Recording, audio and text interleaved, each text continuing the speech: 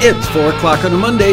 You know what that means, don't you? It's time for another exciting episode of Taxi TV Live. Yahoo! All the way from Los Angeles, California. How are you guys? Welcome to the big show. Today we are going to do an episode of Ask Michael Anything. Um, I did have it planned for us to do an episode of. Um, talking about the the legal aspects of AI because it's such a big topic right now and everybody's obligated to do at least a few AI related shows. Um, unfortunately, the, the music attorneys that I wanted to get on the show couldn't make it today, so uh, got to reschedule that for the weeks to come. Oops, got to bring my levels down. Uh, let's make sure that I am actually airing. There I am. All right, all is good. Um, so we will get to that. Uh, but today, as I said, we're going to do Ask Michael Anything. And I've got to say, you guys sent in some tough questions today. Usually they're like stuff I can answer in my sleep, but there were a couple today that I might not be able to answer in my sleep, if at all. But we will find the answer for you. Um, Andre, I was thinking about you an hour ago. I was watching uh, somebody fly fishing in a river in the Middle East for the smallest trout I've ever seen in my life. It's like they can't legitimately call them fish, they should call them bait. Um, anyway, all right, let's jump right into these questions. Ask Michael anything questions that can range. And I will get to stuff in the chat room. These are the ones that came in. Um, to Liz via the interwebs. So the first one right out of the box is for us newbies. Uh, could you go through the process slash taxi forms to submit a listing? If you could, please start with the artist profile form, then on to whatever is next. George, that would take me about a third of the show to go through, but we did talk, uh, Liz and I spoke before. So, what you should do, um, actually, I don't know if you're in the US or abroad, but email liz at taxi.com and she will set you up with a member services person. Um, maybe you guys can do a Zoom or a phone call, and they will walk you through every one of those steps. We do have various um, video tutorials, uh, but I think they're kind of compartmentalized, so you'll be better off getting the whole thing. So there you go. I hope you're watching the show and I hope you got that information. Um, the next batch, and I say batch because there are several in there, I may skip around um, for people that submitted multiple questions. Uh, this is from Super Blonde, and Super Blonde always has a lot of questions. So uh, let me take one of these and then I'll go to somebody else's. Oh, yes, Marion Laird saying 61 watching and only 19 likes give us a like. You know what? If you're not a subscriber to the channel already, please hit that red subscribe button.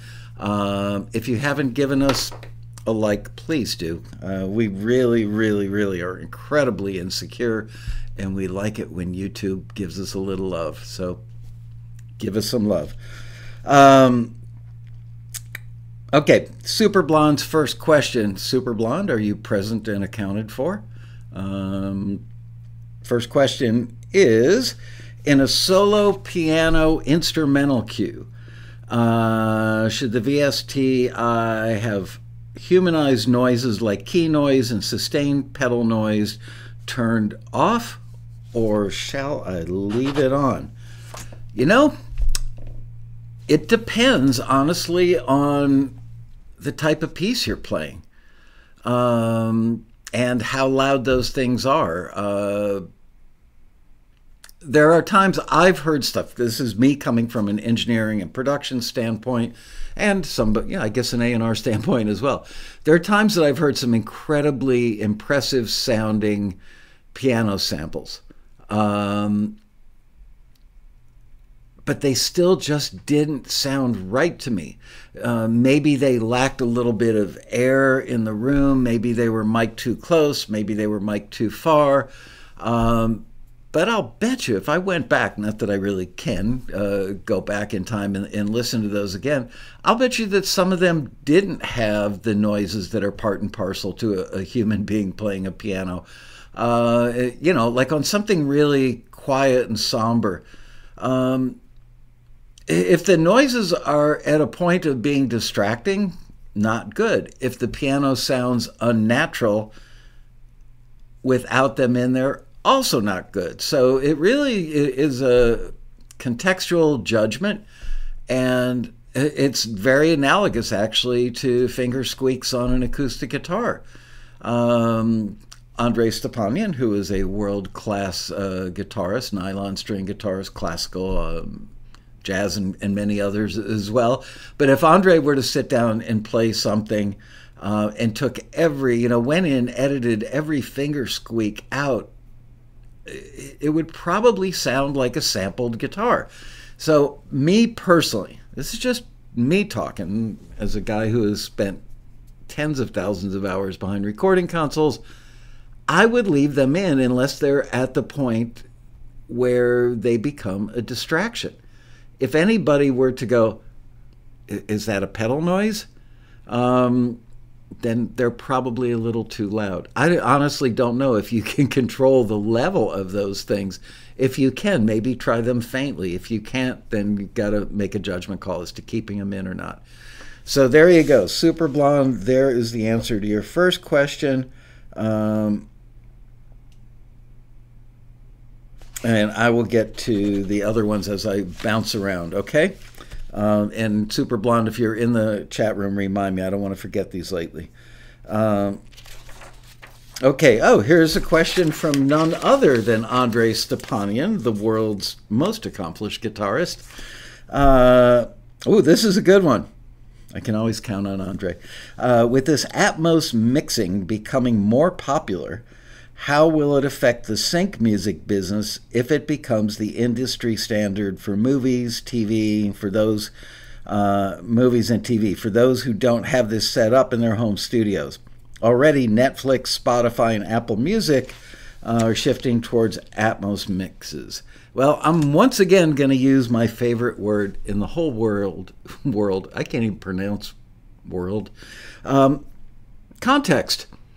Uh, I was very privileged to be invited to hear years ago um, when Atmos was very new on the scene. It may have been around for a while, but when it started becoming a public thing, I got invited to go hear Sergeant Pepper mixed in Atmos by Giles Martin, George Martin's son, and somebody else. And they played it for us in a blacked out movie theater, probably a 200 seater. Um, the only light in the room uh, was either the hands on your watch or the exit signs over the doors in the back of the room. Other than that, pitch black. And at first, I wasn't that blown away. But then, like, second song, I was like, hmm, sounds pretty good. Third song, wow, sounds really good. By the end of Sergeant Pepper, you could literally. It felt like Paul McCartney is the one thought I remember having because I only am good for like one thought a day it felt like having Paul McCartney standing two or three feet in front of me, playing his bass, plugged into the console, an amp, direct box, whatever. But I could also literally like hear the calluses on. I was going to say on his right hand. In Paul's case, it'd be on his left hand, um, playing the strings, and it added depth, a, a dimension that I just never heard anywhere else. So all that said mixing a movie in Atmos, uh, sound effects. You know, a jet flies by. It's coming in from behind you on the right, flies by in front of you on the left, and disappears off into the distance. Um, that's a very valid use for Atmos. Um, for maybe people who are really into audio technology, I, I mean, I should be. I'm a certified audio engineer. I got my little card. My no, I'm, joking. I don't have a card. I never took a certification course. Um, all that said, is there's certainly a place for it, but you know, um, I do not think uh, this gets to the root of your question. I think, Andre, I do not think anytime soon that production music libraries are going to ask composers or artists who have material in those libraries to deliver mixes in Atmos. I think Atmos is going to be used by audio post mixers for the whole thing. I don't think anybody is going to say, "Oh, I love that piece of music, but it's not mixed in Atmos, therefore I can't put it in the film."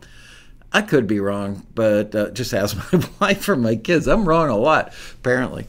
Um, I, I, just don't think it's anything you need to be concerned about. Maybe we'll be having a different conversation in a couple of years, but I think you might be overthinking it. Just saying. Um, I would love to get some people commenting in the comment section um, after the live show is done today and we've got uh, the archive up let me know what you guys think. Um, and I will cap off that discussion with one other little moment in my sordid history as an audio engineer. Uh, as many of you know, I started out like a world class studio sweeping floors when I was 19 years old and worked my way up the ladder. It's Criteria Studios in Miami. I still love it. As a matter of fact, that is Control Room A at Criteria Miami. Looks a little cooler than when I worked there, but my favorite room under the roof there. Anyway, um, I was actually standing in that room. And uh, Tom Dowd, who legendary engineer, legendary record producer, one of the uh, he might have brought the first stereo Ampex tape machine into America from Germany, maybe, um, or maybe it was a four track, whatever. He was ahead of the curve, respected by everybody who knew him, and he's been dead now for I don't know 12, 15 years at least, I think, still heavily respected. And Tommy walks into the room. I happen to be in there doing whatever, probably emptying a garbage can when I was a kid. And uh, there was a, one of the maintenance engineers was standing on a ladder in the back of the room. We had the two monitors up front that you can see. And then we also had two speakers that were mounted in the back corners of the control room, towed in, you know, pointing down and in a little bit and that was when um, engineers were mixing records in quad, which it's surround sound, it's quad, you know, but uh, it never really took off. Every just because you know my favorite saying, just because you can doesn't mean you should. Well, just because you could pan, you know, like the low notes of a piano front and left, and the high notes right and rear or the drum kit, make it come from literally like you're sitting at the drummer's position, have the floor tom on, oops, floor tom on your right, um, you know, the high tom front and on the left. That's not how humans really hear music. So Tommy Dowd walks the control room. He sees the maintenance guy taking down the quad speakers and he goes, Good, we've only got two ears. well, clearly because of psychoacoustics, we hear stuff from you know 360 degrees around our head. But I, I think he's right. You know, we're used. I, I tended when I was still mixing, I mixed records as if I was facing a stage, looking at the band in a very two dimensional way. Even though reflections from the band came from the back of the room. Um, it just feels more natural. Maybe it's just me. Maybe it's just, you know, what we're used to. I don't know. But Andre, that was a long winded answer. Never given one of those before in my life. But that is my way of telling you don't sweat the small stuff. It is not for the foreseeable future, in my humble opinion, going to make one lick of difference if you get something placed in a catalog or if your song or instrumental track would get licensed into a, a TV show or film. I don't think Atmos matters in that regard. Andrew Scheps, who's a highly respected mixer, uh, says, "Don't go crazy mixing things behind the list, listener when mixing in Atmos." Yeah, it's like I for record. Yeah, if I were doing a, a record for a major label, I wouldn't be shocked if they asked me to mix it in Atmos. Um, and I'm sure that there's a percentage of listeners who are like super listeners. You know, the same people that would go out and buy twenty thousand dollars speakers for their home stereo. Do you even call it a stereo anymore? Their home system. Um, maybe those people would listen to Atmos and sit there and mentally masturbate, like, "Wow, do you hear that cymbals coming from the right rear?" I don't know. Not who I am. We'll figure it out. Uh, okay, next one. This is from Larry Rifkin. first question from Larry, and he's got more, but I'm going to go again. I'm not going to do like four from one person and then leave anybody uh, out of the picture. Larry Rifkin asks Michael, You may have done this in the past, but what are you hoping will be the result of the request you put out the other day for a compilation of feel good songs which will be sent to a number of potential buyers? Um, I think I said it in the email that went out or the listing itself, but I mean, we're pretty experienced at this point. We've been doing compilations for years. Uh, we did them back in the 90s. As a matter of fact, you know what? I'm going to be really unprofessional, jump out of my chair and grab something. I'll be back in 10 seconds. You'll get a kick out of this.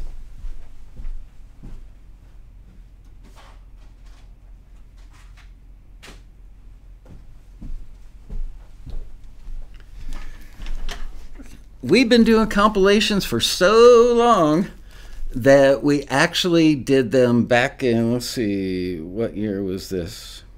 Doesn't have a date on it. Anyway, I would guess this as mid 90s, 95 ish. There you go. Taxi jams. okay. Oh, look at that. The back label, nutrition facts with the song listings on there. So we used to send them out on CDs. We would print up a few hundred of them and send them out to, actually, I think at one point we sent out like 1,200 of these to pretty much everybody in the industry who mattered. Um, and now, of course, we do them in digital format and we send out the playlists on, uh, on Disco and we send it to our most active current clients. Um, maybe we include some people that haven't run a listing in six months or a year or two or three, but for the most part, it's the, the people we're working with right now in a big way. And we send it out there uh, largely to incentivize them to go, wow, that music is really good. I need to run more listings with Taxi, which obviously benefits you. Uh, the thing that we kind of thought would happen, and we were surprised how, in what a big way that it did happen, is that virtually everything on those compilation playlists gets picked up and signed by a library very quickly. Uh, we did a, a, Zoom meeting with a bunch of our American library clients a few months ago. Um, then we did a follow up meeting with a bunch of our European and other foreign clients that we've got because their timeline didn't meet up with, you know, when we were meeting with the American libraries, they were sleeping in Europe. So we met with these guys, and the European libraries were uh, a little upset about the compilations. And why they were upset is because while they were sleeping, their American counterparts slash competitors slash colleagues would jump on signing the stuff that was on that playlist. And by the time the folks in Europe woke up, every single thing had been plucked from the basket already. Um, and I said to them, "Well, gee, if somebody says, "Oh, I'm sorry, I signed that eight hours ago with you know Tom, whatever his name is in Los Angeles. Why don't you guys in Europe say, oh, that's a bummer. Um, can you make more of those? And they went, oh, that's a good idea. So there you go. A little coaching from taxi boss to the industry seemed to work pretty well. And now everybody's happy. And we've actually readjusted the send time on our compilations to try and make it so that the people in Europe are like finishing up their workday when the people in California might be having a sip of coffee first thing in the morning and checking their emails. So hopefully that works out better. But the end result is that I've never heard of something not getting signed on the last several or many compilations we've sent out. So you guys get a great benefit. We're really picky about what goes on these things because, you know, we might get a lot of submissions, but we're looking for 10 to 15 things that are going to blow our clients away where they go, holy crap, man, I need to reach out to Taxi more often. And they're right, they do. Um, but the side benefit, as I said, is virtually every single one of the composers or artists on those uh, compilations gets a deal offer, if not many deal offers. And a lot of times the, the American uh, libraries will call somebody and they'll say, Oh, I'm sorry, it just got picked up a half an hour ago by XYZ library. And the guy who is a day late and dollar short will say, Can you make more of that? Yes, I can. when how many would you like and when would you need them? So there you go. That that's the Oh, Pete Steege says I had two on a compilation and both got signed. There you go. Um, Will Derryberry says the compilation Taxi sent out a couple years ago for Stomp Clap instrumentals helped me get in contact with several libraries as I had a couple of songs on it and I signed several songs as a result of it. So there you go. Um, testimonials from from your fellow members.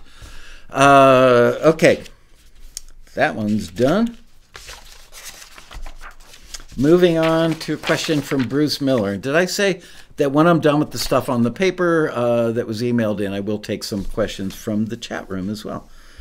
Um, Bruce Miller wants to know if a listing asks for male or female vocals, is it a good idea to submit two tracks with the same backing track and lyrics, one with male vocals and one with female vocals, or should the backing tracks and lyrics be somewhat unique? Um, if there, if a listing says they want male or female. It no, you don't need to, you're not covering more bases by sending a, a version of each. Um, I guess you could have, you know, if somebody reaches out to you and said, first of all, the screener, you know, if it's just one screener on that listing, which happens, um, the screener could go, I don't understand this. We've got one with a male vocal, one with a female vocal just send it with one or the other. And then if the library reaches out to you and says, wow, this is great, Bruce, I'd be interested in signing it, you could say, I've got a female vocal version. Would you like that too? And they're liable to say yes. Um, I guess you would treat that kind of as an alt mix. But no, it doesn't increase your chances, I don't believe. Uh, in my subjective opinion, I do not believe that it will increase your chance by even 1% of getting somebody to sign a piece of music because you've submitted one with the male vocal and one with the female vocal. So I hope that answers your question appropriately. Um, Nancy Kalel, this one's from Nancy Kalel, who I, Nancy, are you in the room today? Um, I was actually thinking about Nancy Kalel as I was getting ready for work this morning. She popped into my head. I, I knew that I was doing the show today and that I would see a bunch of people in the chat room that I know, and I was thinking, gosh, I, I, haven't seen Nancy in the chat room in a while, and this may explain it. Nancy says, Hi, Michael. I shared with you at the Road Rally that I was taking a part time job to save up for an Apple MacBook Pro loaded with Logic Pro 10 or Pro X. Uh, well, I finally did it. Yay! Good for you. Uh, very good for you. It's mine, she says. Uh, I was also given by an amazing friend a Universal Audio Apollo Twin interface. That's a good friend right there. It's all wonderful yet simultaneously daunting. So here are my questions. Should I sign up for recording classes or keep trying to figure out the recording process through tons of YouTube tutorials? I am muddling through. Um, everyone starts somewhere. I have no home recording experience, but need to get to the point of recording in a more expedient way. What do you say?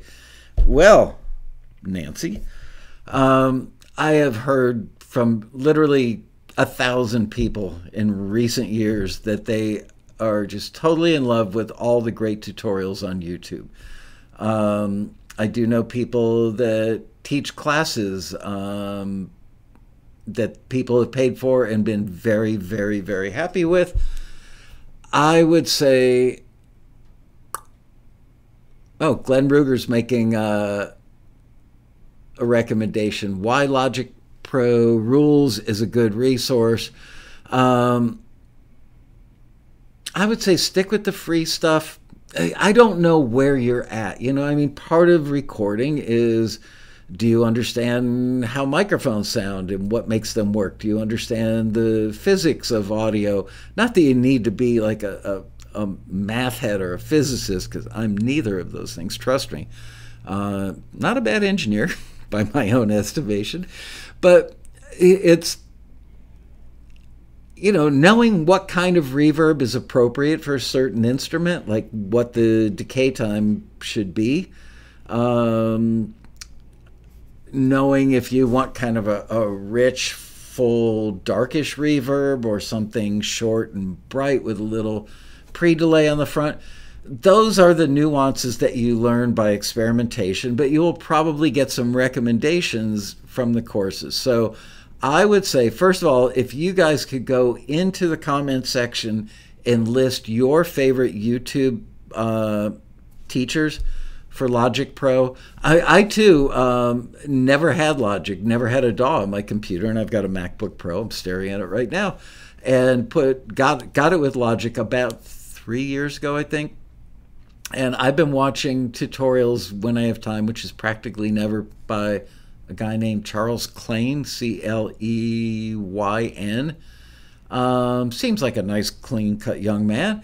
Um, and, and, he explains things nicely. I wish I had more time to spend with him and watch all of his videos, but that's how you learn. And you know what? Here's the thing, Nats, is one day you're going to feel like daunted, and the next day you're going to feel like somebody flicked a switch and you went, oh, I get it all so much better now. So stick with it. I know people. it sounds horrible to say. I think you're pretty smart, Nancy. Uh, I know people who might be less smart. Is there a nice way to say that? Uh, you're smarter than the average bear. This will come to you. And I have nothing but a high level of confidence that you're going to nail it. So just keep watching those freebie tutorials. And if you find that they're not working for you, ask around. I'm sure that there are plenty of your fellow members uh, that can refer you to paid courses that won't cost a fortune, um, that will be really awesome. Plus, you're in Los Angeles. Um, I'm sure that you could go. Gosh, uh, I have some friends that I've never taken their course, but I'm sure it'd be awesome. But they teach Pro Tools, they don't teach Logic but I'm sure that there's some local classes. Maybe there's a benefit in like bringing your laptop to the class and having the instructor walk you through stuff. I think you could do it on video. So many people have had successful, really great results doing it on YouTube that I think you will as well. So there you go. All right. Uh, maybe that's why I haven't seen Nancy in the chat room. She's been working that part time job so she could get the MacBook Pro anyway, congratulations. I think that's really awesome that you did it and a very, very smart career move. Career move. Um, this one is from Ewart Williams. Hello, Ewart. Say I submit slash approve a tune to Taxi for a a critique. To, okay, so he's talking about when we do one of our Taxi TVs where we do live critiques.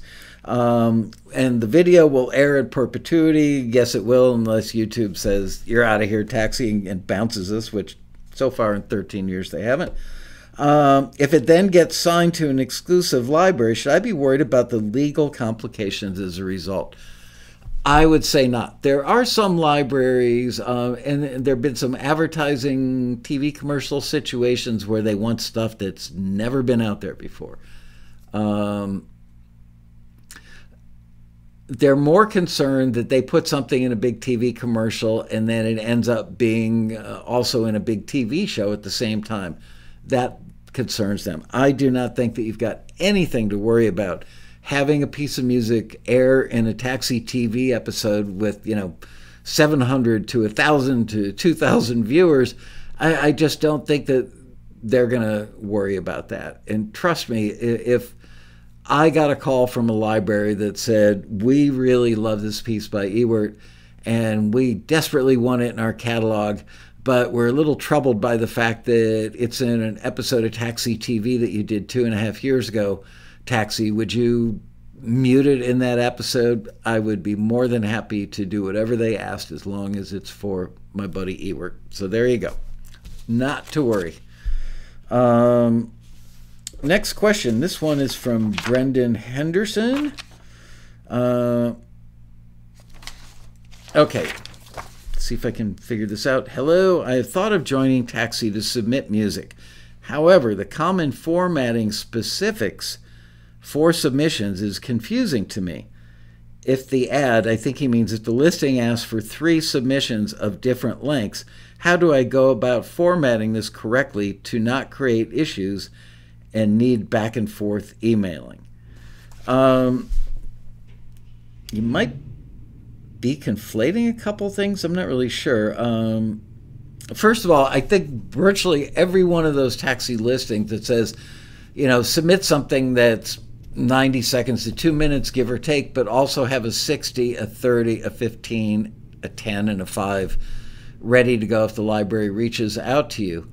Yeah, I, didn't understand the question all that well either, Andre, but I'm kind of rehashing it now. So basically, saying um, that if a listing says that they're going to want, uh, you know, a 60, a 30, a 15, a 10, whatever, cut downs um, of the original, he wants to know how to format that. Um, honestly, virtually every time they ask for it in full, and if they reach out to you and say, I need versions that are, you know, 60, 30, whatever, just go on the taxi forum and ask your fellow members who are much more adept at creating music in the digital domain than I am. But basically, it's editing. Um, and you would be right, uh, it's smart in some cases, maybe many cases, that when you're composing, knowing that you're going to need to cut something down into shorter versions, look at your time signatures, look at your BPM, and do a little math and figure out, okay, you know, at this BPM in this time signature, and I need to make this into a 15, it's going to be very weird sounding. Um, so composing to accommodate for those cut downs um, is a good thing. But it's not that complicated. Uh, we have a lot of members that have figured it out and successfully done it, so I'm sure you could join their ranks very easily, and I hope that information helps you. By the way, um, if you're not on the forum, I'm telling you, we preach this till we're blue in the face around here, but we're not doing it because we make one penny more. But watching Taxi TV becoming part of the forum community. Everybody who is successful and part of the forum, which virtually every one of our successful members is, um, they will all tell you how incredibly helpful that community of very generous people on the forum have been in helping them learn about things like this. So take advantage of what is out there and free, and we have so much evidence that it works and it's helpful. So there you go. Um, thank you, Liz, for posting forums.taxi.com. All right, that one is answered. This one is from Brewster Mosley. If I submitted a song without my bio, I forgot to include it, um, will the song still be considered? Absolutely. Um, yeah, no, no screener is going to say, "Oh my gosh, you forgot your bio. The music is great, but you forgot the bio. Sorry, we're sending this one back. It'll be forwarded if it's great." Um, somebody on the staff may reach out to you and say, "Hey, uh, you didn't include a bio. We want to forward this. Could you please send us your bio?" And they would include it. So there you go. So I need to go back to Brewster's second question in a moment. Um, this is an interesting question. This one's from Dennis uh, Trainee or Traini. I'm not sure. T R A I N I, but Dennis asks. Have you had a chance to check out Band in the Box from pgmusic.com? Uh, and using the audiophile versions of the real studio musician recorded tracks they offer for music production. Um, I have not. Um, I was very familiar with Band in the Box back in the 90s when I started Taxi because a lot of our members used it. Um, and it was not at that point in time producing demos that were good enough to pitch to labels. I heard a couple things that, like, wow, not bad. For the most part, not great. I'm, I'm not sure if that was operator error or the software or band in the box, whatever. Um, I don't know. Uh, so I just can't give you an answer because I don't have any experience. But there yeah, there are AI programs out there now that I believe are either free or really inexpensive. I can't remember the name of one, but I saw a demo of one two or three weeks ago where you take a song and run it through this AI and it will bust out all the individual stems or tracks from that song. Um, well, I mean, that's great for you, like doing a vocal version if you're doing covers in a live situation, I guess. But you couldn't, you know, you couldn't take uh, Ariana Grande, Grande, my uh, favorite artist, artist to reference. You couldn't take an Ariana Grande song, run it through AI. Um, take the vocal out. Oh, there's also AI that will remove a vocal from a track. Um, which might be handy if you've got a song that you want to, like a cocktail jazz piano thing with a vocal, kind of sultry, smoky sequin gown vocal on it, and you want to take the vocal out. I guess it's your song and, and you playing on it. that would be a good thing to do with AI if it sounds good. People say that it does. Um, anyway, the future is here, and there's going to be all kinds of tools for you to do that kind of stuff. So, like I said, I'm not familiar with the latest, greatest version of Band in the Box. I hope it's awesome, but I think there are many ways to skin a cat. Um, this one is from Anonymous. Wow, somebody's parents had a really sick sense of humor. Name your kid Anonymous. Poor kid grew up with a chip on his shoulder, you know? It's like an inferiority complex. I'm, I'm a day old and I'm already anonymous.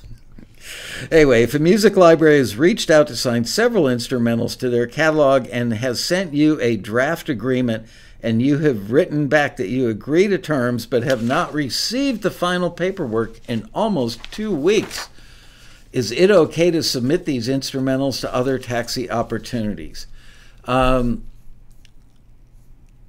you could. I think the next best step for you um, would be to send them one more email that just saying, you know, hi, Bob, Susie, whatever the person's name is that you're dealing with at the company. Um, I sent you back. Uh, I'm going to go back. Um, I agreed to your terms, but haven't received a contract yet. Um,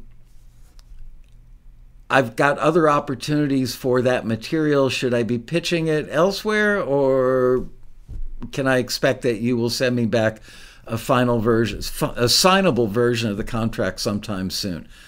Look, as I stated somewhere the other day, I think I was a guest on somebody else's show, and I said most libraries, many of the libraries, are one, two, or three person operations, unless it's you know a big one, like massively big. Most are fairly small. Um, and they spend more of their time pitching and put, putting together playlists, things like that. Um, unfortunately, they don't have a lot of time to spend on what I would call housekeeping. So they probably have nothing but the best of intentions, and they're like, "Oh, great, he's going to sign with us, yay!" and then they know the the cat's in the bag. Excuse me, and um, maybe they're just being a little slow about getting back because they feel like, all right, this deal's going to happen. They should be quicker, but in your world, you've only got that one library at the moment to worry about.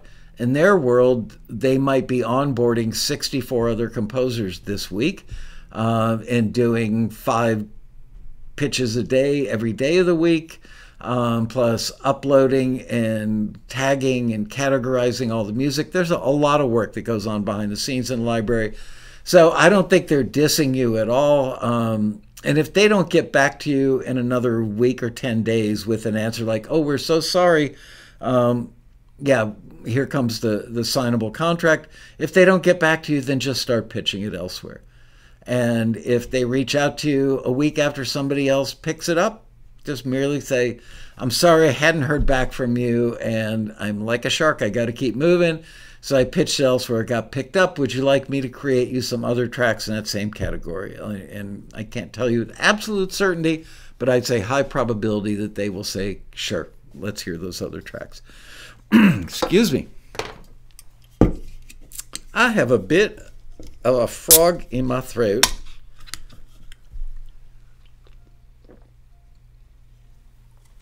Ah, nothing like a warm, red, sugarless Red Bull. this one is from Martin Svensson. Hi. Uh, oh, this is a tough one. This is the hardest one I think I've ever gotten on any episode of Ask Michael Anything. so thank you, Martin. Uh, hi, the other day received a contract to sign for a taxi opportunity that the publisher liked. Thank you for that, he says. You are welcome. Um, Martin, wouldn't be a bad idea to send an email to deals at taxi.com because the chances of this piece of paper in my hand making it to the person who assembles the deals for the newsletter, not that great. So if you would, please send an email to deals at taxi.com, just letting them know about um, how many pieces you signed and where you signed them. So thank you for that. Anyway, the, Martin goes on to say the contract talks about the neighboring rights and that I'm responsible to make sure I collect my own share of these. Excuse me. that was a Red Bull burp, is what that was. But I have a hard time getting my head around what this is.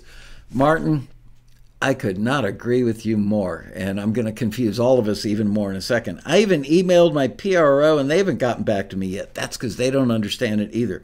Maybe they have no clue either. There you go. We're both right about that. Um,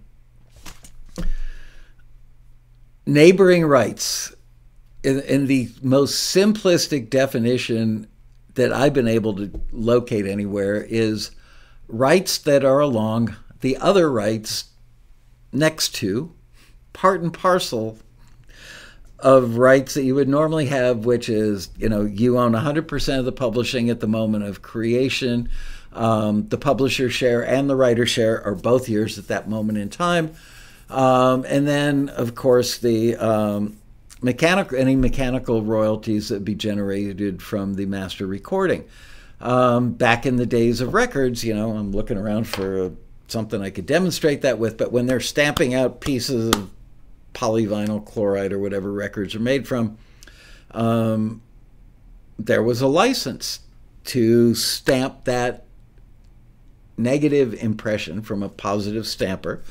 Uh, and that was called making uh, you for every one made you would get paid a mechanical royalty and in america it was the harry fox agency that collected mechanicals well obviously even though there has been uh, kind of a, a resurgence of interest in vinyl and the vinyl sales numbers are going up, still not that big of a deal. So there are all these other rights out there, all kinds of other rights. And frankly, I have asked no less than three or four attorneys who seem to be able to answer everything else very clearly. I had a guy named Brenton Hund, H U N D, who is like the second highest level of attorney you can be at Turner Broadcasting or CNN or whatever company owns both of those. Brenton is a taxi member and he's a really smart, really nice guy. And he did a whole thing uh, at the Road Rally 2021, the virtual rally. Um, and he explained it. I still didn't understand it. I have asked friends of mine who know a lot, like uh, Michael Eames is a good friend of mine, best explainer of publishing related stuff that I think I've ever met. I walked out of the room and thought, I must be the dumbest person ever. I don't get it. So, um, I asked my friend ChatGPT today if he, she, or it would be kind enough to explain what the hell neighboring rights is. Sorry, I've got something in my throat. Um, where did I put that first thing? Okay.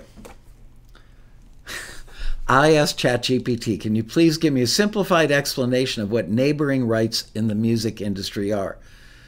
And I'm going to read you what, let's see how long, I asked it a few different ways. and I don't agree with some of the stuff it said, but as one of my friends said not too long ago, uh, I think that ChatGPT and AI in general are like serial liars. Um, I have gotten some stuff where it's like, oh, you just made that up based on what you thought, based on other stuff that you read previously for data points or data sets. Um, but I've definitely found it, ChatGPT is not infallible. Um, it is largely uh, becomes more fallible when you prompt it poorly. Uh, neighboring rights are a set of rights that belong to performance eh, performers and recording companies. You know what? I'm not going to read this one because it included um, recording companies, and I wasn't that interested in the record industry side of it uh, because most of our members seem to be more interested in sync. So then I said, I don't understand. Please expound. And it says, sure, let me explain in a bit more detail. And it's still talking about record company stuff. I said, I still don't understand. And ChatGPT said, I apologize if my previous explanations were not clear enough. Um, and then I said, How do neighboring rights work in the context of the music for sync part of the business. So there, I improved my prompt. And ChatGPT says, in the context of music synchronization, neighboring rights refer to the rights of performers and record labels to control the use of their sound recordings in audiovisual productions such as films, TV shows, commercials, video games, other multimedia projects. Okay, so yeah, record company could want to license an Ariana Grande song, right, uh, to a movie, probably a Disney movie, the cute little female singer that's petite but with a big voice like Ariana Grande. Anyway, when a production company wants to use a sound recording in their audiovisual project, they need to obtain permission from both the copyright owner, usually the composer or songwriter, and the neighboring rights holders, the performers and record labels.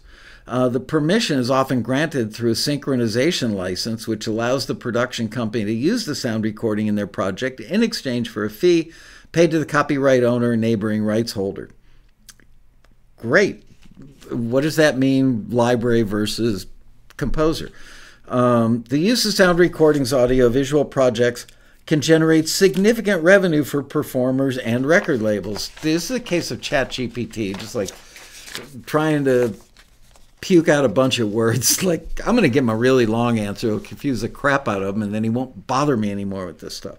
Um, for example, a popular song used in a hit TV show or movie can lead to increased sales or streams of sound recording, as well as exposure for the performers and the record label.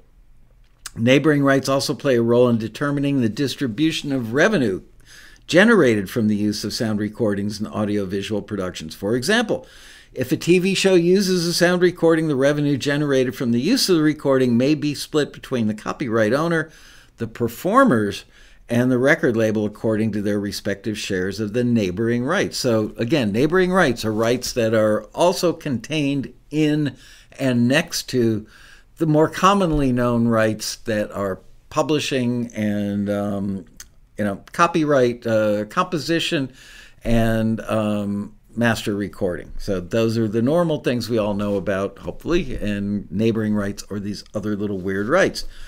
Um, Overall, neighboring rights are an important consideration for music synchronization in the entertainment industry. It sounds like a high school kid is writing a paper and trying to stuff as many words in there as they can, as they ensure that performers and record labels are compensated fairly for the use of their sound recordings and audio. I mean, that was a lot of nothing right there. Uh, then I asked how do production music libraries deal with neighboring rights, wanting to know uh, contractually? Do they say, you know, we control all the neighboring rights, we collect all neighboring rights, blah, blah, blah, blah, blah. Basically, I'm not going to read all this stuff. It'll take too much time. This is an episode in and of itself. And like I said, I've had neighboring rights experts, and they give these BS explanations. And if you say to them, okay, so if there's a neighboring right for a person who played guitar on my instrumental track and I didn't bother to get a work for hire, then they could lay claim to a neighboring right because they played guitar on it, but yet they don't own a piece of the composition. They don't own a piece of the master recording. Oh, but hold on. My friend John recorded this in his home studio uh, and I paid him a hundred bucks for the session and didn't sign a work for hire with him. So technically now he owns part of that master recording or maybe all of it. Um, so he's got neighboring rights. Well, who collects the money for him for that? And who collects the money for the guitar player that I was dopey enough not to get a work for hire sign from? So there are all these different things out there. Um, Um, I'm I haven't I I can't concentrate on this and read that at the same time. Sorry. So some of you guys are getting ignored. Um, my wife always said I've got a one-track mind, but I, I just have not been able to find anybody that can say, okay, if you do an instrumental track for a library, these are the neighboring rights, and this is where you need to go to sign up and this is how they will collect the money, and this is how much you would get using this particular example. I can't find it. And I've asked people that write a lot of books, Bobby Borg, uh, somebody please explain this. And Michael Eames, both bright guys. Michael Eames, like I said, is the single best explainer of publishing stuff that I've ever met in my entire nearly 50 year career. And even when he explained it, I walked out of the room. I didn't want to look stupid, so I just went, hmm. I nodded knowingly, walked out of the room, went, I am dumb as dirt. Apparently, we are all dumb as dirt. None of us seem to really get it. There are a lot of people that will, um, that know a piece of it because they asked the question once and got a piece of it explained to them. But then when I explain that to a music attorney, they go, well, that's not exactly the case. So then it's a case of the game of telephone where information, you know, it's like when people say, oh, yeah, taxi must be a scam because they charge musicians money.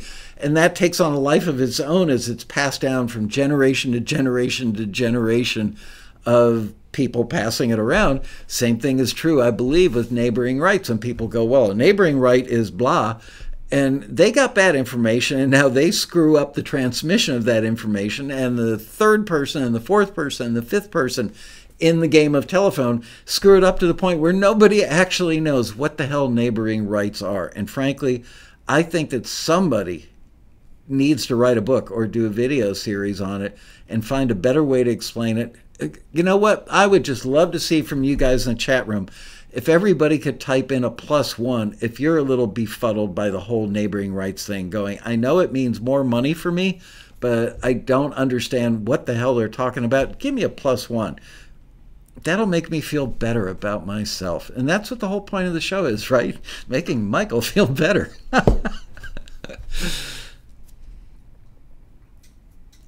well, there you go. The plus ones are rolling in. Yeah.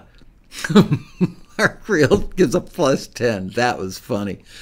Oh, man. All right. So I'm going to wait. Um, I'm trying to think of like I know who I'll get Donald Passman, who is arguably the most famous of all music attorneys out there.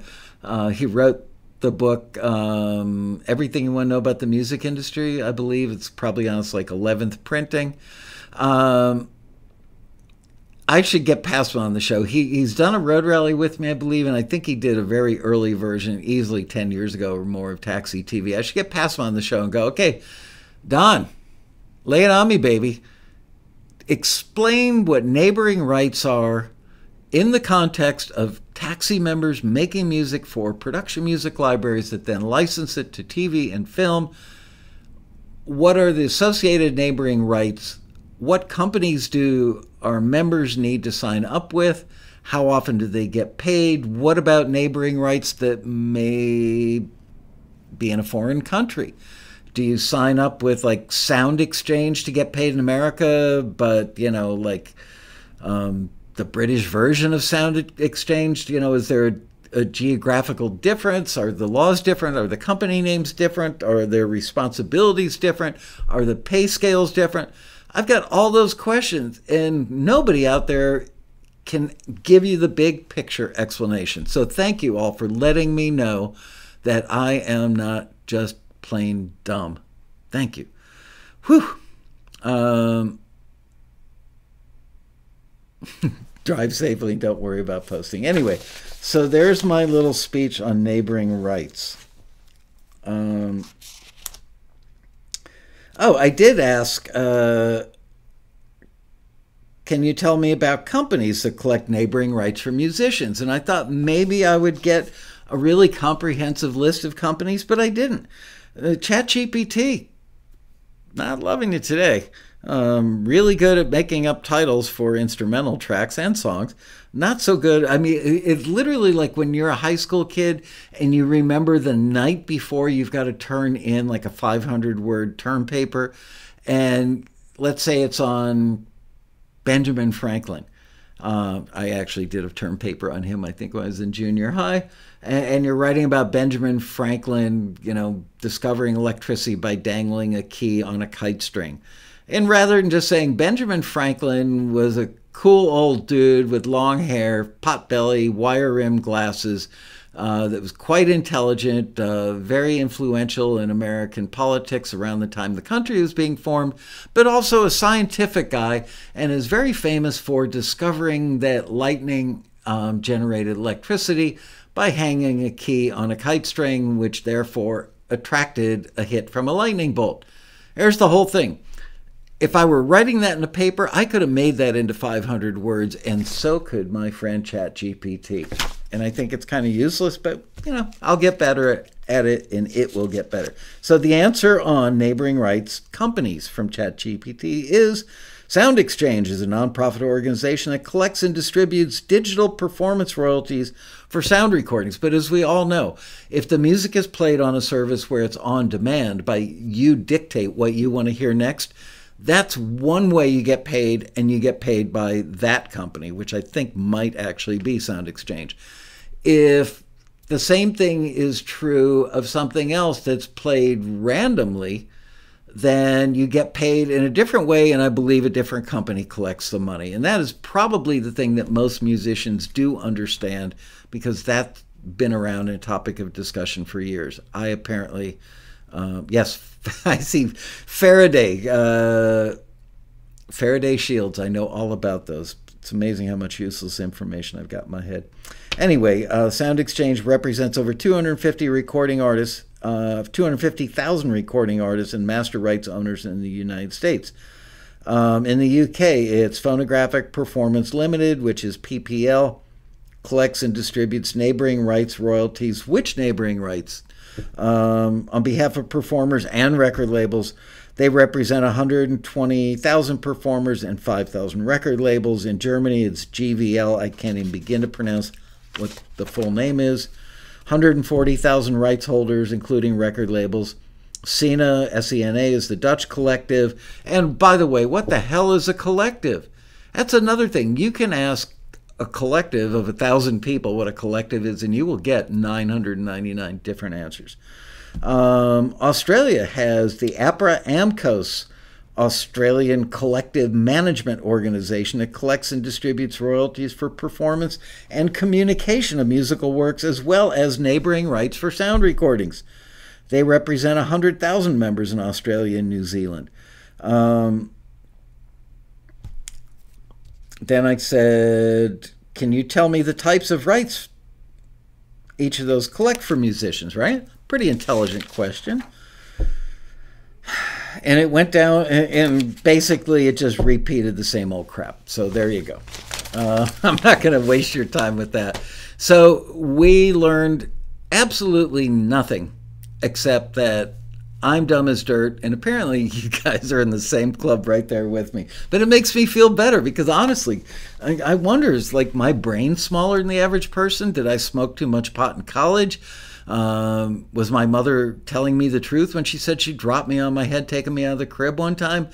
I don't know why I can't understand neighboring rights, but somebody, please, we are begging you, somebody, please explain that shiz to us in a way that we can all understand. All right, let's go back to the questions now. And I'm going to go back and take some of the second ones that were emailed from before the show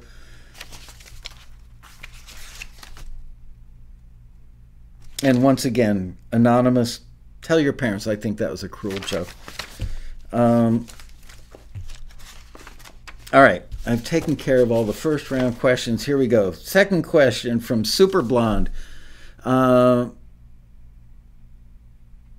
with instrumental cues created by VSTi, such as minimal piano and strings, with a specific mood? Do the library slash production companies prefer a constant tempo through the entire cue uh, or ease of editing on a grid? Um,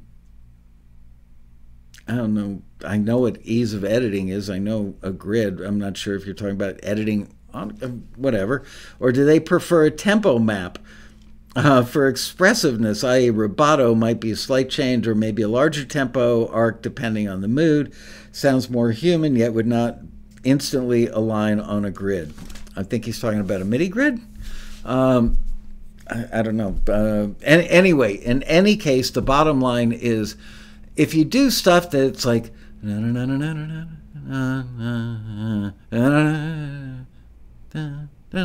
If you're moving around your tempo. Um, you're you're creating something that's going to sound like score and not like an instrumental cue. Therefore, it makes it much more unusable. Um, keep the tempo throughout. Um, that's all I can tell you. That's the simplified version, the simplified answer to that somewhat hard to understand question. Um, all this grid stuff. Uh, all right. Um, there's another one from him I'll go back to. Larry Rifkin asks, asked a second question. Oh, this is an interesting one. In these fraught political times, uh, some of the best songs I've been writing are political or social commentary. Um, is there a market for these songs? Not like, oh, he even meant, after all, uh, music drove the 60s and these times. Hello, what did I do wrong? You said you were done with the first time question. Oh, wait, a whole bunch two more? pages. Thank you. Yep. Um, that was Liz stopping in for a visit. Um, anyway, I've been writing. Uh, yeah, after all, music drove the 60s, and these times demand the same. I haven't seen any such requests. I called this into the member desk. I think he means member services at Taxi the other day, and the woman said she would pass it on to the team. If not, is it worth putting such material on an EP digitally? If so, what do you recommend? I've held off doing this so as not to jeopardize a placement through Taxi. All right. Honestly, Larry, I think I've seen one or two listings that might have asked for political or protest stuff, but I can't remember honestly if they were like, can you say? I think they might have been looking for era appropriate stuff, you know, that sound music that was actually recorded, vintage stuff recorded back in the 60s when, you know, people like Bob Dylan or Crosby, Stills, Nash and Young, Joan Baez were were doing protesty songs. Um, I honestly, I don't think there's much of a market for that today. I really don't. Um, frankly, back then uh, the music was more central to the lives of the average person because we didn't have these nasty little buggers in our hands all the time. So, you know, we'd listen to music in the car, we'd listen to music at home, sit down, smoke a doobie. Not that I ever did, but some people did that I heard, and uh, or have a glass of wine, whatever. You know, sit down, just listen to music and groove out on those brand new stereo speakers that were not playing Atmos mixes, and, and just enjoy the music. And yes, because the Vietnam War was such a big thing, and trust me, I was a big anti-Vietnam War person, big, big as they come. Um, I don't know. I, I, I don't think that there is as big a market, or maybe not even any significant market for that kind of music right now. Just a guess. But you know what? Sure, go ahead do an EP, but don't press it up uh, on disc necessarily unless you have a marketing plan and know who you're going to market it to, which you know, it's one thing if you were doing stuff that was vintage like or or you know, about the Vietnam War, it'd be to a lot of baby boomers, my age group. Nowadays, I don't know, do you sell it to Antifa? Um I, I, don't know. I, I don't know who you would market it to. I really don't. Um, I, I, don't have a good answer other than to tell you that I just don't think the market is there, but you could put it out. Uh, make the songs, put them on Spotify. Maybe I'm wrong. Like I said the other day, I, have been wrong once or twice before in my life. Wouldn't be surprising. Find out I'm wrong about something now. So put it on Spotify. See if it gets any traction. But you could put a mega hit on Spotify and it might not, probably wouldn't get any traction because just the sheer quantity of stuff that's up there. Um, Timothy Rue, great suggestion. Market it to the French. There you go. Um, Marion Laird said people listened on tiny little boxes called transistor radios. I had one, a Panasonic, which was a new brand back then. Panasonic transistor radio. It was turquoise, and yeah, you had a mono like earbud that wasn't anything like the earbuds today. Sounded like crap. Um,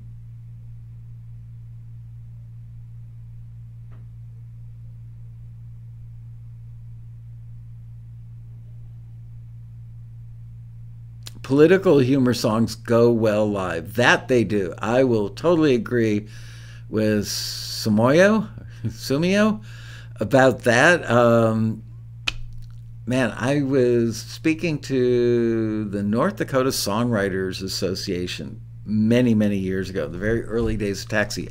I would fly anywhere to get in front of a room full of songwriters and pitch Taxi to them.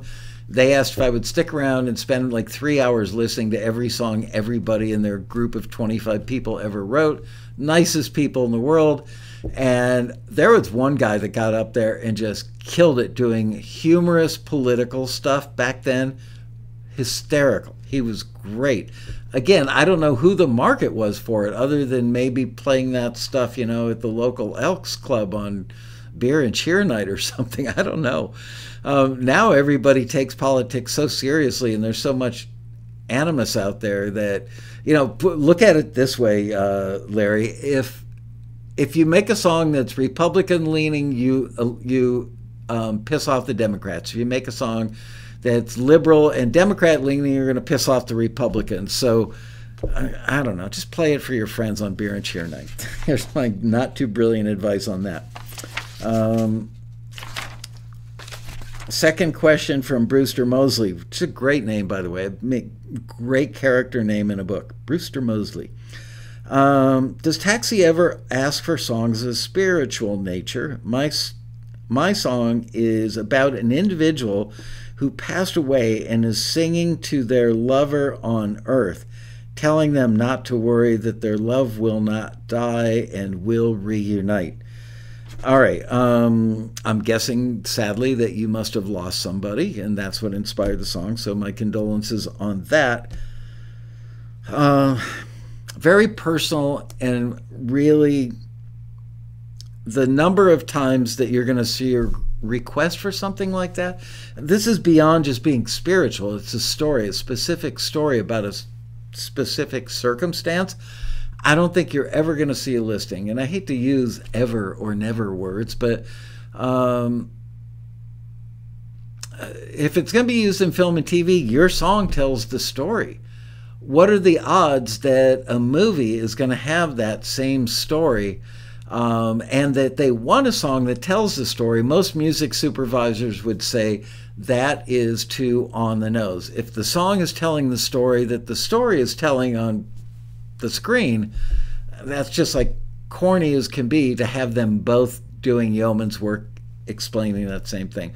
So I, I don't think that you've got a um, good probability on that. I just don't.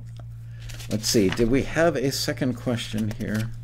I thought we had a second one from somebody. Okay, let's see what Liz brought me in here. Um, this is from Reagan Olson.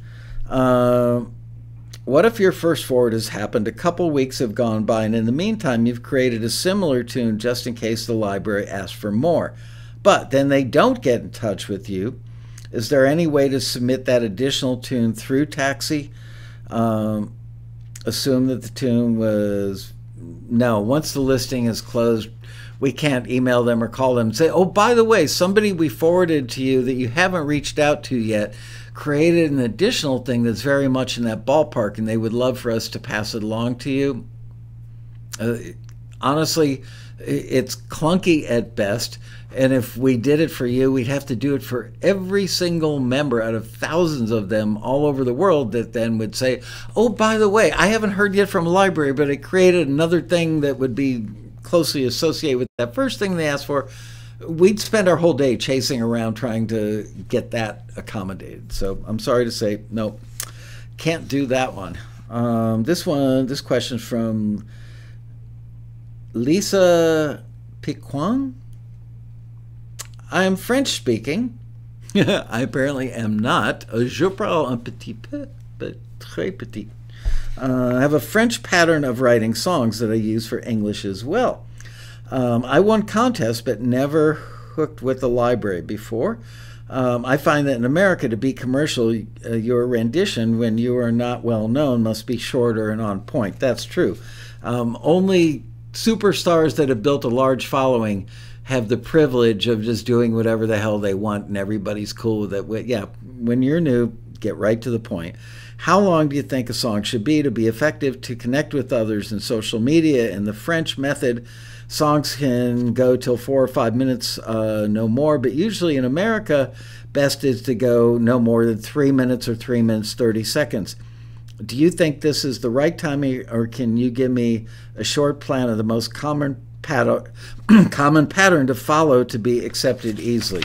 Um, honestly, you guys would be very impressed with me that the other night, Thursday night, Wednesday night, uh, I actually sat down and listened to the top 20 most popular music songs you know, on YouTube. Um, and then listened to the next 20 as well. I spent the whole night listening to music so that I could stay current.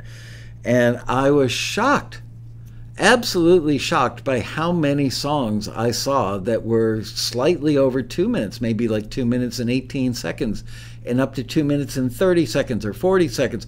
Uh, I would say 10 or 15 percent, maybe 20 or 30 percent of all the stuff I saw. I was like, really? That's a full song just looking at the times.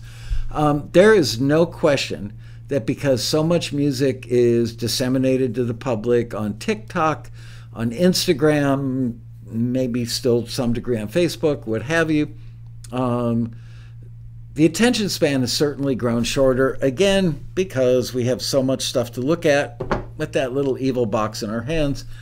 Um, we don't invest ourselves in growing building a close relationship with a song as much as we used to back when music was more central to our lives. So, my answer is three minutes and 30 seconds is pushing it now. Three minutes is probably your target. Four or five minutes, not so much. You know, it's funny. I'm going to tell a tale out of school, but I'm not going to mention any names. But there is a person that does uh, a bunch of YouTube videos, uh, mostly about the sync industry uh, puts himself out there as quite expert, although he just got his first paycheck from Sync last quarter, I believe, or maybe this present quarter recently in the last month or two. Um, and, and he didn't renew Taxi, and then he did renew Taxi and has reviewed Taxi. Uh, and now I'm not speaking about our friend Dave, um, but this other gentleman. Um, it's like just didn't love Taxi. Stuff wasn't getting forwarded, and when it did get forwarded, he didn't get a call back. And it's like, um, I went and looked at his submission history after one of his videos pissed me off a little bit. And no wonder. I mean, this guy put is putting. He's writing. He's got a book for sale. He's teaching classes. He's um, consulting for people. I think for like seventy five dollars an hour. Yet one of his submissions said, you know, no more than two minutes, give or take. I'm paraphrasing that, but it was probably said, you know, submission should be 90 seconds to two minutes, give or take. He had one submission in there that was over five minutes long. And yet he, he always would preach, you know, read the brief. Um, apparently, he didn't read the brief. And anybody with any knowledge of the sync industry knows it would be an extremely rare circumstance where you could pitch a five minute song, instrumental, whatever. So, um, little inside baseball there for you on that, Lissa. Um, but yes, definitely shorter is better. Get right to the meat. Don't give a 35 second intro. Nobody's got that much patience anymore. And you're thinking it's going to get them in the mood. It's like drinking a little wine before you sit down for fine dining. Not the same. People, it's like, blow me away right now. Hook me right now. Make me want to sing that chorus over and over again right now. Get to it. So there you go. Instant gratification is the way of the world now. Little weird, but it's true. All right, uh, this one's from Shane Stever. When a library receives your forwards, are they more likely to start a relationship with me if I have more forwards from a single listing? Um, let's say I see several instrumental listings with deadlines in a two week period that I feel I would do great on it. I have the bandwidth to compose four quality tracks to any of those listings. Hypothetically, in this situation, those four get forwarded. So I'm wondering if I should put all my energy into that one listing or split it up while retaining the quality of my submissions. Um, a couple is okay, unless some listings will say they're looking to go deep with you. They, they more and more libraries are now trying to find people that can generate an entire album of stuff for them. Um, I personally, I, I don't think that's a terrible idea on the library's part, but I, I spend more time as an independent observer looking at library catalogs than probably anybody else on the planet.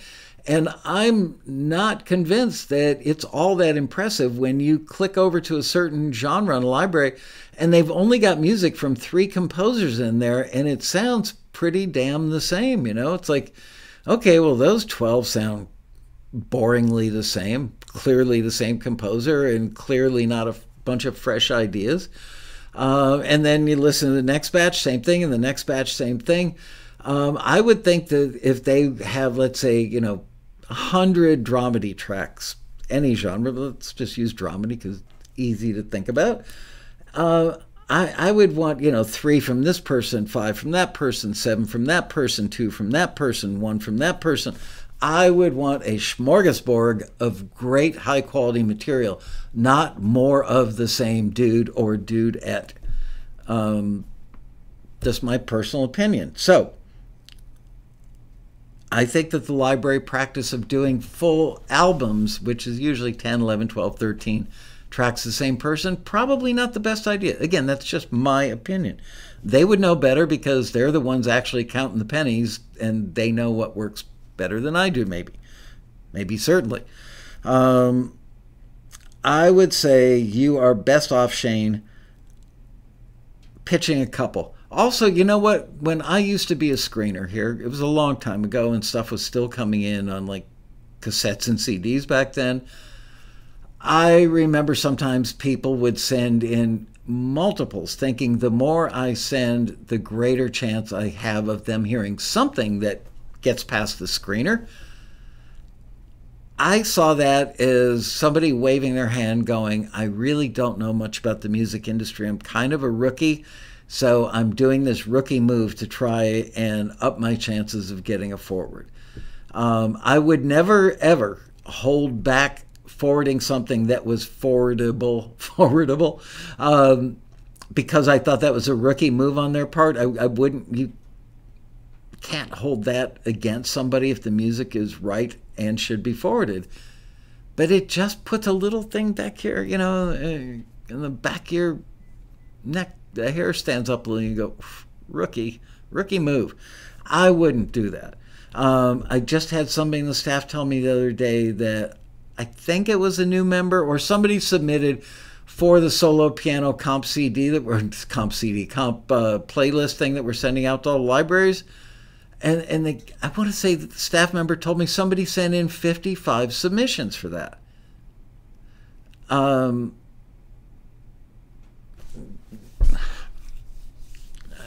what would you think? can you guys answer me in the chat room? What would you think if you got 55 submissions on one thing?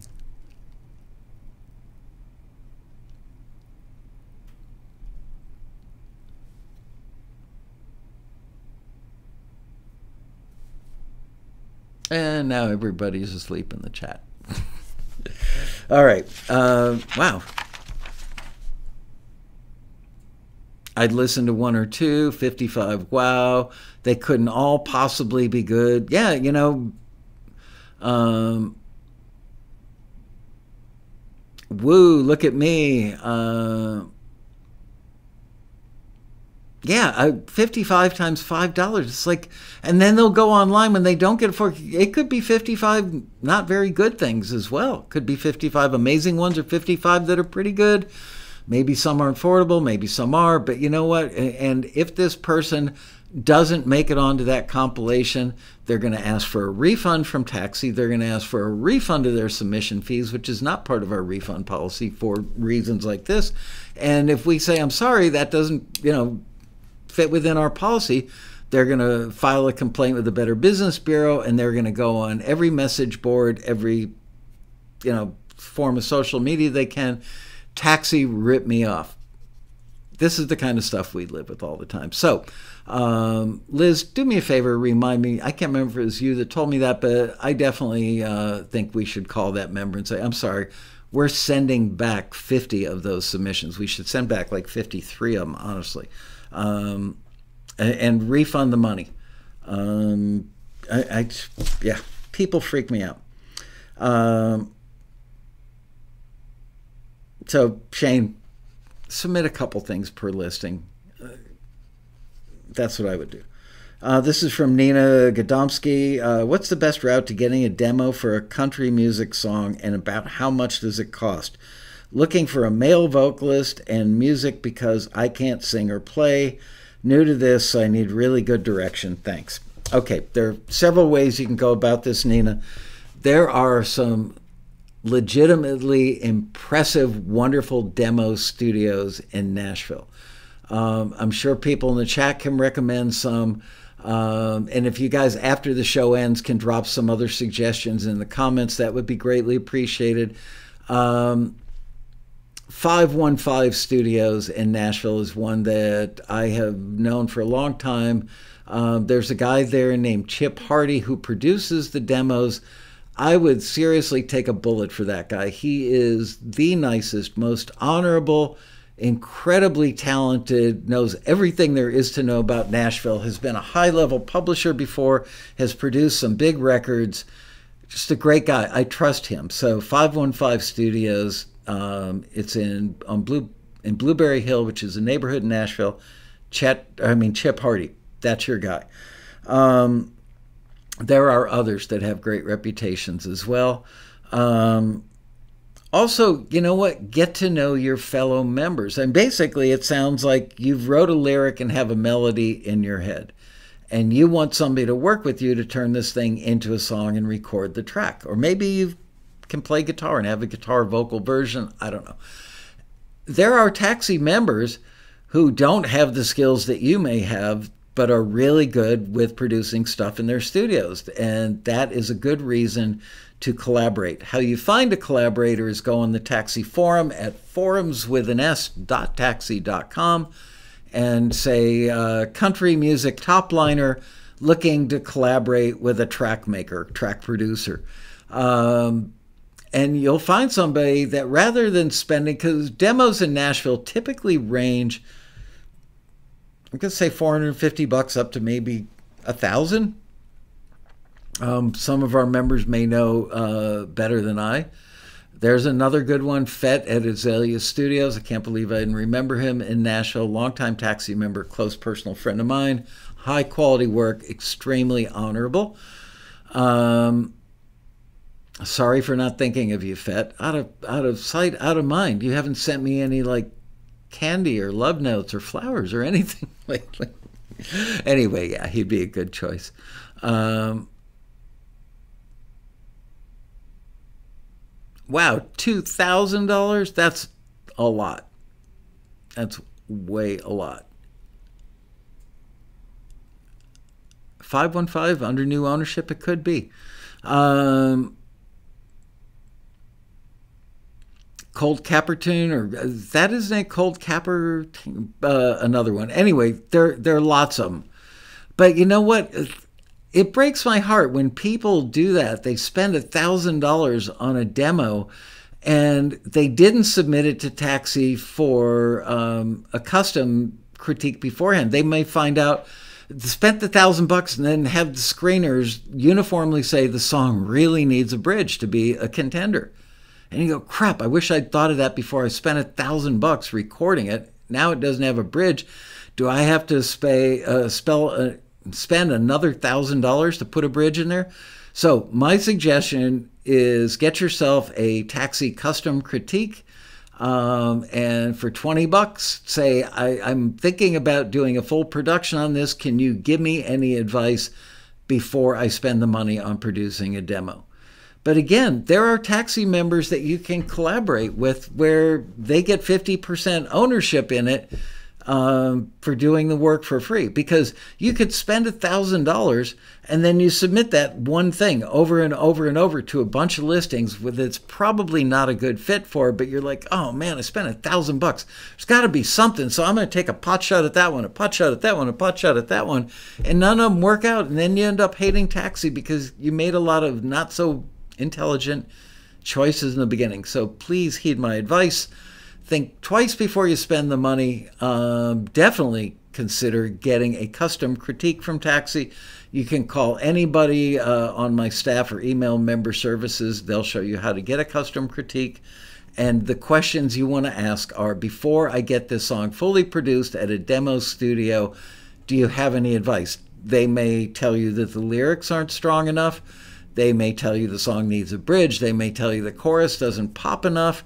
Um, they may tell you the style is too dated. There are a lot of ways they can save your life and save your money before you spend that thousand bucks on something that you would probably regret later. So I hope that's helpful. Uh, this one's from David Bertner. Um, how do I make the most of the road rally if my goal is to license songs for jingles and use in film and TV? Um, you mean TV commercials? Jingles, you know, unless you're like MyPillow or one of the insurance companies. A lot of people don't use jingles anymore, um, but you mean for TV commercials, film, and TV. So the best thing you can do is start making friends now on the taxi forum so that when you get to the road rally, you've already got a posse of friends and they will be at different levels of experience and success. But then you meet them at the rally and you commingle with the people that they know and become part of a larger circle of members, sooner or later you are going to meet um, library owners that your new friends know. Um, and hopefully the quality of what you're making is good enough that you can take advantage of those relationships. Don't prematurely just shove stuff in the face of library owners going here man you got to check this out. This is great. I'm great. This is the best music you could you'll ever hear and it's in 20 different genres. I'm awesome. I'm going to make you a fortune. Don't do that. That is a very bad first date okay? So i hope you find that to be good advice but i'm telling you hanging out in the chat room on taxi tv um, and, and then getting to know people in the forum build your circle of friends before you go, and it will all fall into place. Um, there's one from Nelson Ortiz. If you upload a song and submit it to a taxi listing and the listing closes, then upload an updated version of the same song. Will the reviewer get the updated song or the original you uploaded first? Um, hard to say because we could have one screener on it, we could have three screeners on it, we could have five screeners on it. Just don't know. Um, I would if you when you upload the second one, go in and delete the first one. That would be my advice. Um, Super Blonde asked a question that I want to address because it's similar in nature, and I've got a good answer for that. Super Blonde said previously, after submitting a track to a listing, there was an icon on the submission page which allowed editing the audio track of the pending submission before the deadline expired to replace the audio track with a newer revision. Recently, I noticed this didn't work on a submission. There was no button to edit the audio track um, anymore. Uh, was there a change, or do some listings not allow editing a submission prior to the deadline, or what? Uh, really, nothing has changed, but your timing was such um, we typically start screening listings the day of the deadline. So if the deadline is 11:59 p.m. on May 1st, uh, on the morning of May 2nd, we start screening. In some cases, on a really big listing, something where we get three, four, five hundred tracks, which is not that often. Um, people fantasize that we get in you know, 100,000 submissions, you've got no chance of getting heard. No, I mean, could be 27 submissions, could be 118, could be 214. Uh, but for something like that piano compilation, I would be willing to bet that a lot of people, including the gentleman who submitted 55 things, um, that we will get so many that we will start screening in advance of the deadline because we just need to, especially when it's something that's on a deadline with a library client or a music supervisor. Um, so we may start screening the night before, the afternoon before, or two days before. That would be a stretch. Typically, a day before on something where we got a lot of submissions. Why I'm telling you this is when, as soon as the screeners start working on it, that locks out any revisions. Because if it if the database didn't treat it that way, a screener could be in the middle of screening something and Super Blonde goes, oh crap, I forgot to include that second guitar part, goes in and tries to hit the edit button and revise the submission while it's actually being listened to. That would be like throwing um, a monkey wrench into the fan belt of your car while you're doing 100 miles an hour on a downhill somewhere. Yeah, just like that. Anyway, um, Nancy, leaving now for your part-time job. Bye, y'all. Well, congrats again on the on getting the computer, Nance. Um, I'll go five minutes long because I saw a couple in here. Um, uh, Ronnie Bear wants to know uh, because he missed the microphone episode, which I didn't talk about how to place mics on a uh, on a Leslie on a Hammond B3 Leslie cabinet. Um, and I got to tell you, uh, I'm glad you asked that question because nobody mics those anymore. Not enough people, in my opinion. I loved miking Leslie cabinets. So here's what I would do. First of all, you are asking for nothing but phase issues. So definitely check um, pan. You know, you're left. You're going to mic it in stereo, and listen to it in stereo, but then pan everything up to the middle or hit a mono button to see if frequencies drop out like crazy because you've got um, phase issues. So it's been a long time since I've done this, but I believe that I just put two mics up up on the top with the whirling horns and two mics on the bottom. I think it, for one thing I did, I did an album where the it was like a southern rock band and they had B3 in pretty much everything and I had to worry about um, the bottom end of the B3 getting muddied up or muddying up the bass and the low end on the piano. So I didn't want to make the bottom end stereo. So what I did was I took an 87 uh, and put that pretty close to the whirling thing down in the bottom, the woofer, if you will, on, on the B3 cabinet, and then used two stereo mics upstairs on the horns. Um, again, you're asking for all kinds of phase problems, but in the end, that worked out really well. You could also put two mics on the bottom, two mics on the top. I would say, generally speaking, put them about eight or 10 inches out from the sound source. Um, and try and get them all even so they're equidistant from the source so that you don't get any weird phase problems. But definitely check for phase problems.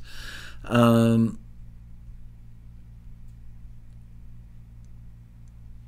let's see. I thought I saw one more. Uh,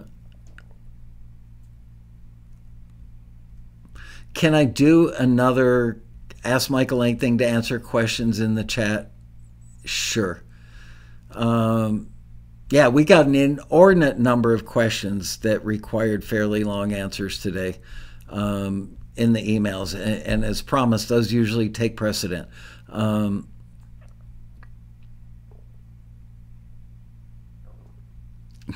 do you reveal your secrets why our mixes do or do not sound like hit records?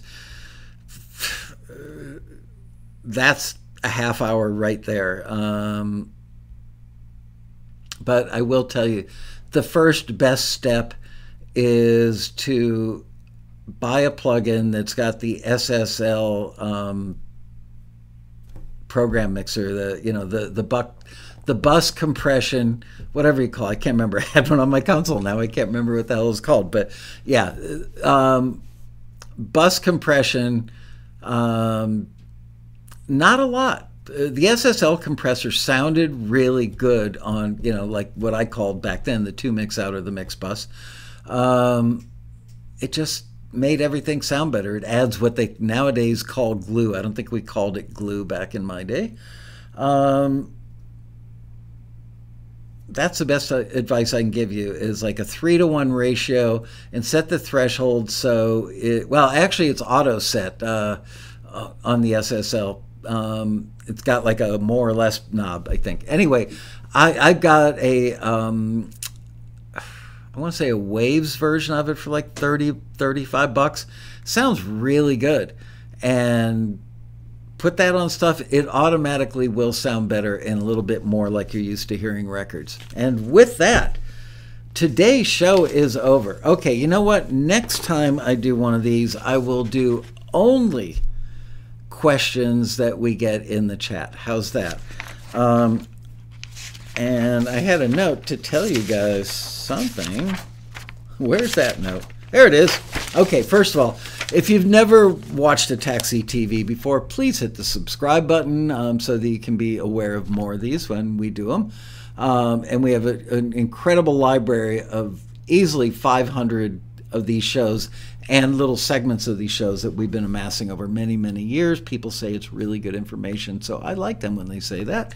Appreciate the compliment. Um, and also give us a like so that YouTube will tell more people about us. Also, next week's show, we are going to do Where Is It? As my special guests on the show, we're going to have Tracy and Vance Marino join me, the authors of Hey, That's My Song. Check it out if you haven't already or if you don't own it. And the topic of next week's show is going to be five ways to ruin an industry relationship. Five ways to ruin an industry relationship. And I hope you enjoyed today's episode of Ask Michael Anything. See you next Monday, right here at 4 o'clock Pacific time, for another exciting episode of Taxi TV Live. Bye bye, you guys.